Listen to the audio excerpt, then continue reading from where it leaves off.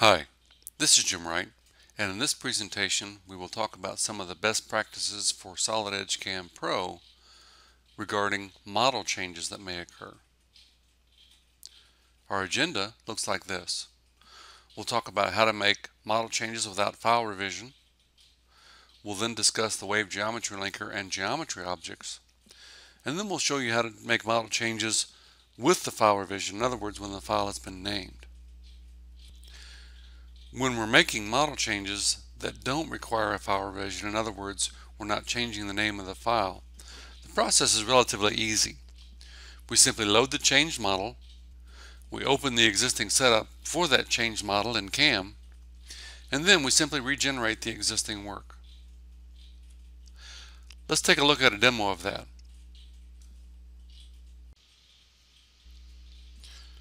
Well, first let's consider the most simple of scenarios. I've got a, uh, a model here that needs to be machined and it's being held in a vise. So this is an assembly with three components, fairly simple stuff. So when I want to machine that, I also have this assembly already loaded into CAM Pro. So here is the same set of models in CAM Pro and you can see that we've got three operations one to face the top of the part to get some of the excess stock off and then a floor wall operation to machine the area around the, uh, the little plus sign and then a spot drilling and drilling operation. So no problem everything looks good but what about model changes? Well in this simple scenario we switch back to solid edge and we make a model change. So edit this model. We'll move this face 5 millimeters. And that should be good, right? We send this revised model to Solid Edge Cam Pro. Have to save it first, of course. And you can see that the transfer is immediately made.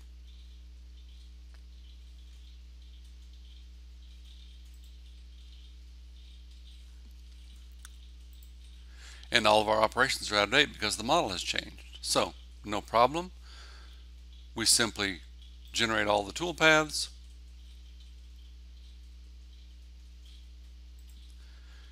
And we're, we're good to go.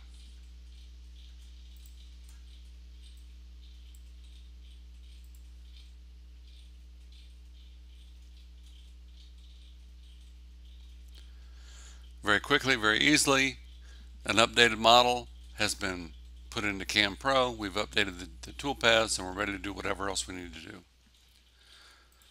But what about the scenario in which the model is not only revised but then saved as a revision because that's what happens a lot in the engineering world, right? So we'll switch back to Solid Edge. And this time we'll delete this model, remove it from the assembly, and we'll add a new model, a revision of the first file.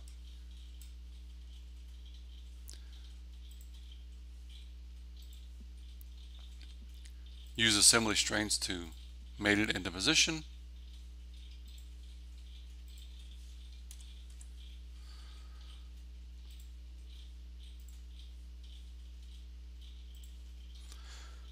That's the proper positioning for this. So we've got a revised model. It looks a little bit like the old model, but it has some changes to it. Let's send that to Cam Pro and see what happens.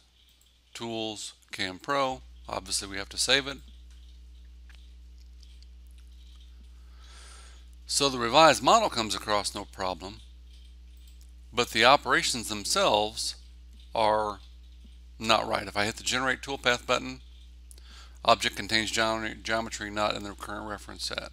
Same thing for the floor wall operation, drilling operations too. If we were to look at the um, geometry view, you'll notice that in the workpiece, we don't we have um, geometry not in the current reference set. So, what do we do in a situation like this?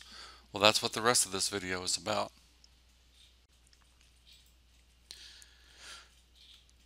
Now let's take a look at the wave geometry linker. First, what is it? Well, you can think of the wave geometry linker like a piece of modeling clay that you can make conform to any modeled shape. So if you wanted to make it conform to the current design model, that's fine. If you have a new model, a revised model, you can make it conform to that new shape as well. Furthermore, the wave copy can be either associative or non-associative so that if the underlying body changes, then so does our wave body. When should I use it?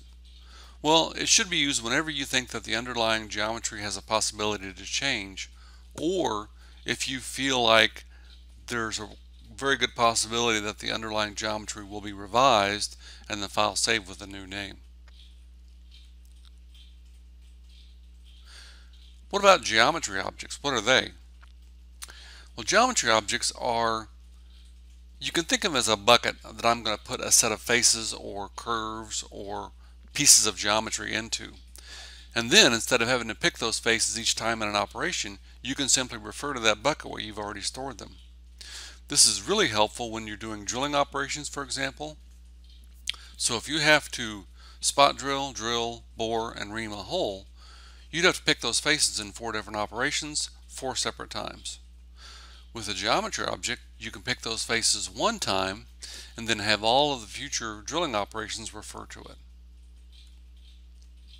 When should I use a geometry object? Well, as I mentioned, a really good time to use it is when multiple operations will address the same set of faces. For example, spot drilling, drilling, boring, and reaming a set of holes. Or if you think that you will use it for revised files so that you can point to the new faces rather than always be pointing to the old faces of the old body. Model changes with file revision. Now that we understand a little bit about wave and geometry objects, if we combine these two things together, we can use them in a process that will actually create a very associative set of toolpaths to almost any body that we choose. Now, it does take slightly longer to initiate because you have to create the wave geometry linked body. You then have to go create the geometry um, objects and then tie the operations to those objects. But it does allow you to maintain associativity across different body types and you can quickly adapt to revised models. So overall, it will reduce your NC programming time. Let's take a look.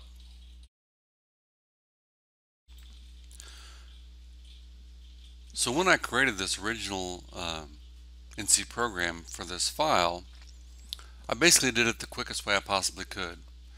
In the geometry view for the part I picked this body right here. In other words, the same body that came over from Solid Edge.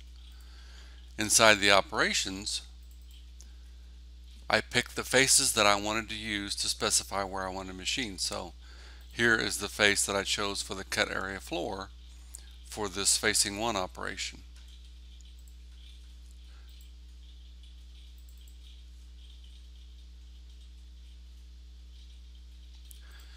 And of course, this lower face is the one that I chose for the floor wall operation.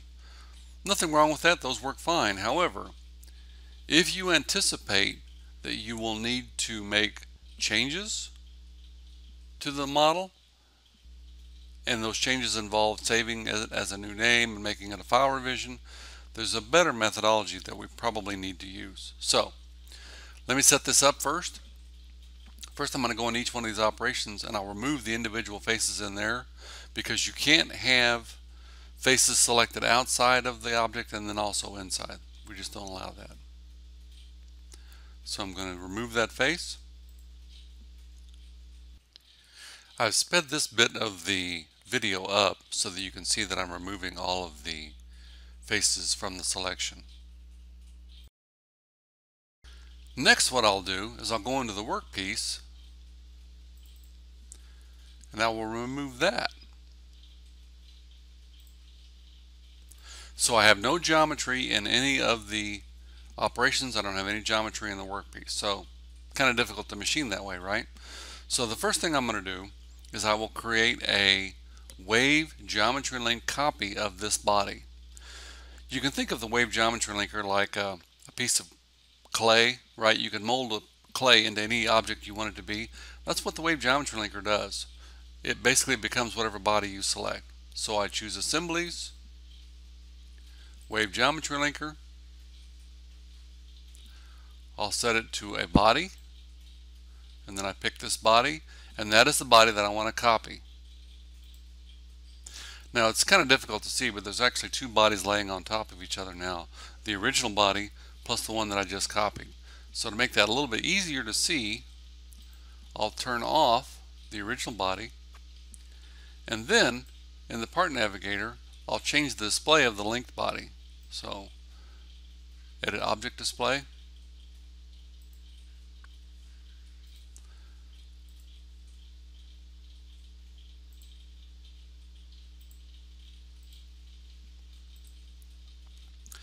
So now my copied body is a different color than the original body. I can turn on the original body. You can kind of see what's going on there. So I'm going to leave the original body turned off because the copied body, the wave geometry body, is the one that I want to use. So back inside of Workpiece, I can now choose for the part geometry, I'll choose this copy, this associative copy.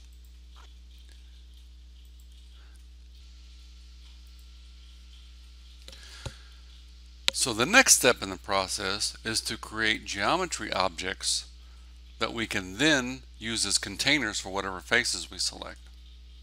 So to do that, I'll go into the workpiece, I'll say right mouse button, insert geometry. The type of geometry I'm going to pick is for faces, so that's a mill area subtype. And I'll call this uh, top of part because this is the one that I will use to identify the face milling operation top of the part.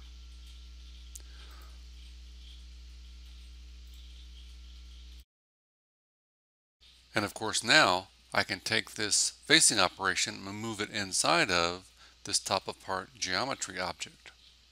So essentially what I've done here is I've pulled the face selection out of the operation and moved it into this geometry group. And that's important because later on when we switch revised files, we will need to be able to respecify the face geometry without going into the operation itself. We'll do the same thing for the lower face that we use for the floor wall operation. Insert geometry.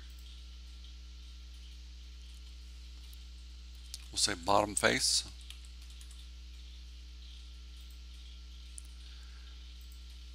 And of course the face that we're choosing is this one.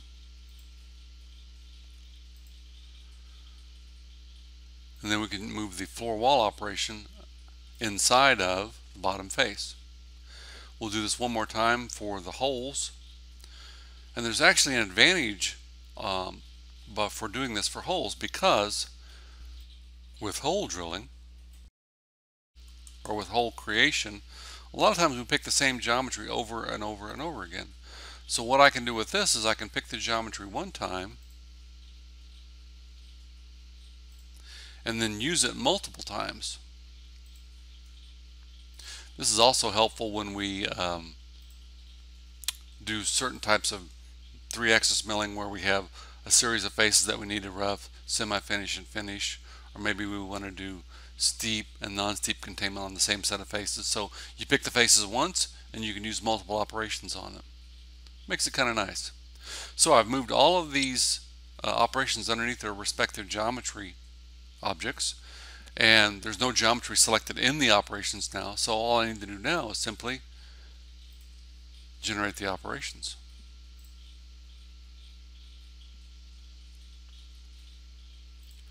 So from a practical standpoint we didn't change anything we just moved the selection of the faces outside of the operations and we also used this wave geometry body uh, as our work part doesn't make a lot of sense to do that if we're never going to have model changes because it's extra work we don't need to do it. But the advantage comes when we have a revised model and we're going to talk about that next. So now we'll go through the same scenario as before where we're not going to use the original file but we're going to add a revised file into the assembly course, we need to apply assembly constraints.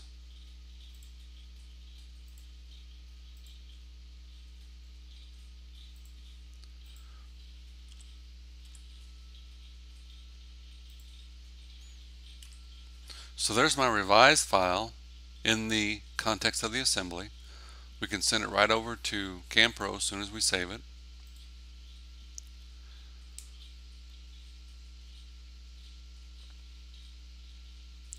And you notice that it looks a little bit weird because there are actually two bodies laying on top of each other. We have the the revised body that was sent over from Solid Edge, but we also have the Wave Geometry Link copy of the original body. So let me kind of show you what we what we have here. So first I'll turn off the revised body so you can see there's the copy that we that we have. Remember our clay body. And then we can turn off the linked body so that you can see the new body. So what do we do in this case? Well, we did all that work up front so that we can save ourselves some work on the back side. So here's what we do. First thing we do is we make this linked body point to the new design body. So we edit it and we're going to make it point to this body right here. So we simply point to it and say OK and you notice that everything changes. We don't have two bodies laying on top of each other. We actually do, but, but they're identical, so they're difficult to see. Now I can go in and turn off the Rev A body, and you're seeing only the Wave Geometry Link copy.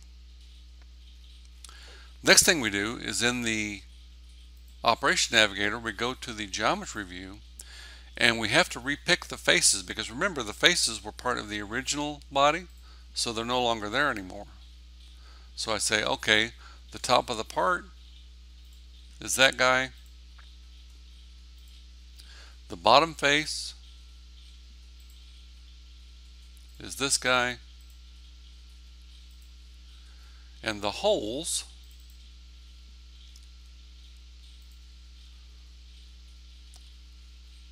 are these.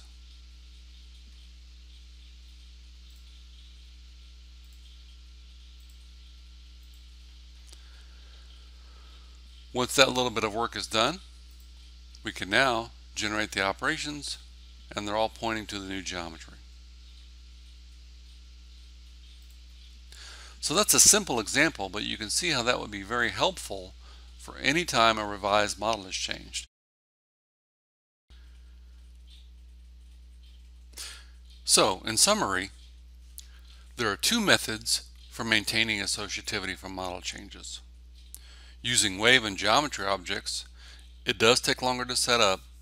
However, if you anticipate that files will be revised and the name will be changed, this is the better method. It also works great for foreign CAD data like SOLIDWORKS files. If you're just making a, a one-off kind of a job where you may make a few model changes inside Solid Edge, then you don't have to use wave or geometry objects. It's very fast and it will also maintain associativity as long as you don't change the file name. Okay, that's it for me. Thanks for watching.